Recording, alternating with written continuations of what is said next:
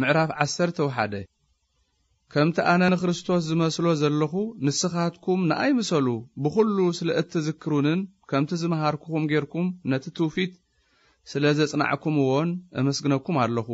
ግናኸ ርእሲ ነፍሲ ወከፍ ሰብኣይ ክርስቶስ ርእሲ ሰበይቲ ኸዓ ሰብኣይ ርእሲ ክርስቶስ እውን ኣምላኽ ከም ዝኾነ ክትፈልጡ እደሊ ኣለኹ።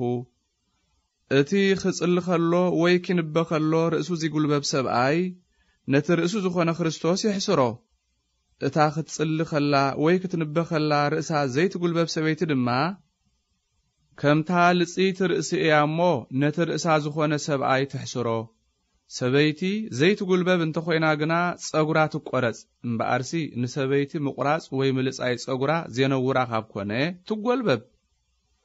ሰብኣይ ምስሊ ኣምላኽን ክብሩን ዝገልጽ ስለ ዝኾነ ኺጉልበብ። ኣይግብኦን እዩ ሰበይቲ ግና ክብሪ ሰብኣይ እያ እትገልጽ። ከመይ ሰበይቲ እያ ካብ ሰብኣይ እምበር ሰብኣይ ካብ ሰበይቲ ኣይኮነን። ከምኡውን ሰበይቲ እያ ምእንቲ ሰብኣይ ዝተፈጥረት እምበር ሰብኣይ ምእንቲ ሰበይቲ ኣይተፈጥረን።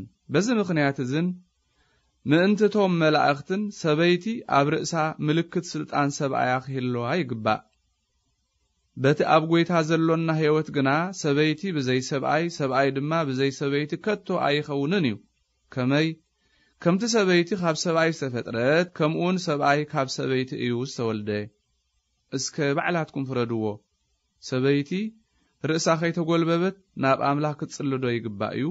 ወይስ ሰብኣይ ጸጉሩ እንተንወሐ ሓሳሩ ምዃኑስ እቲ ባህሪ ባዕሉ ዶ ኣየምህረኩምን እዩ? ሰበይቲ ጸጉራ እንተንውሐት ግና ኣብ ክንዲ መጐልበቢ ጸጉሪ ተዋሂቦ እዩ እሞ ንኣኣ ኽብረታ እዩ። ገለ ሰብ ብዛዕባ እዚ ነገር እዚ ኺተሃላለኽ ዝደሊ እንተሎ ንሕናን እተን ናይ ኣምላኽ ኣብያተ ክርስቲያንን ካብዚ ዝተፈልየ ልማድ የብልናን።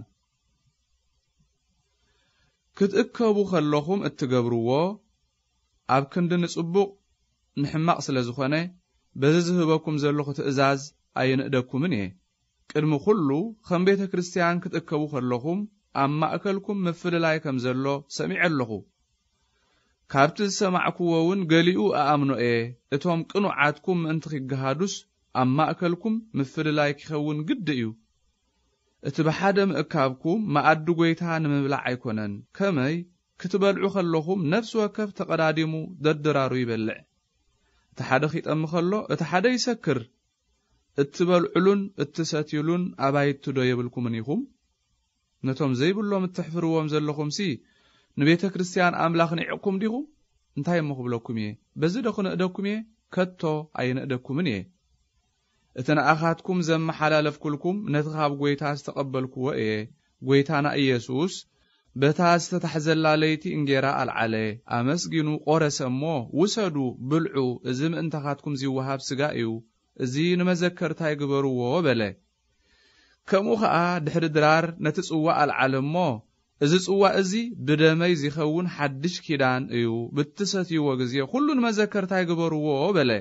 ማለት ነዚ እንጌራ እዚ ብትበልዕዎ ነዚ ጽዋዕ እዚ እውን ብትሰትይዎ ኩሉ ክሳዕ ጐይታ ዝመጽእ ሞቱ ኢኹም እትነግሩ ስለዚ ከይተገብኦ እንጌራ ጐይታ ዚበልዕ ወይ ጽዋዕ ጐይታ ዚሰቲ ኣብ ናይ ጐይታ ስጋን ደምን እዩ ዝዕግብ። እምበኣር ሰብ ካብዚ እንጌራ እዚ ቅድሚ ምብልዑን ካብዚ ጽዋዕ እዚ ቅድሚ ምስታዩን ርእሱ ይመርምር። ከመይ ስጋ ጐይታ ምዃኑ ፈልዩ ኸይፈለጠ ዚበልዕን ዚሰትን ኣብ ገዛእ ርእሱ ፍርዲ እዩ ዝየምጽእ በዚ ምኽንያት እዚ እዮም ኣብ ማእከልኩም ብዙሓት ድኹማትን ሕሙማትን ዘለዉ። ዝሞቱ እውን ብዙሓት እዮም። ኣብ ገዛእ ርእስና እንተ ንፈረድሲ ኣይምተኾነናን ነርና ጐይታ ኺፈርደና ከሎ ግና ይቐጽዓና እዩ ዘሎ። እዚ ኸዓ ምስ ዓለም ምእንቲ ኸይንኹነን ኢሉ እዩ።